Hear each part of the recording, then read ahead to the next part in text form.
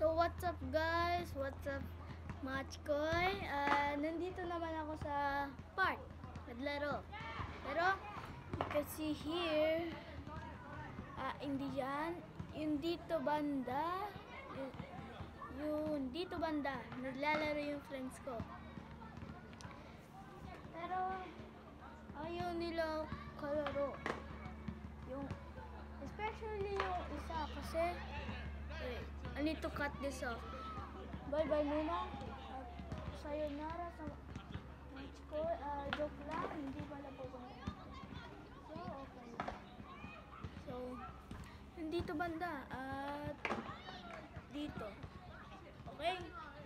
So, yung mga friends ko, ayaw nagka-laro sa akin. Yung is, yung dalawa, okay, pero yung isa, ayaw. Kasi,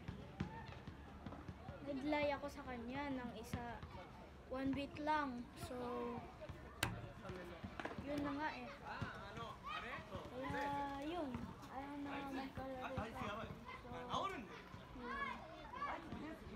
Ah, kanina na yung isang friend ko, ano, pum- pumunta dito yung crush ko. Number one crush. Number one talaga. Number one. Number one crush ko. Yun. Tsaka sinabi ko kung saan sila nag-meet. Pero dun daw, banda. Hindi ko alam kung saan. Pero na dun, na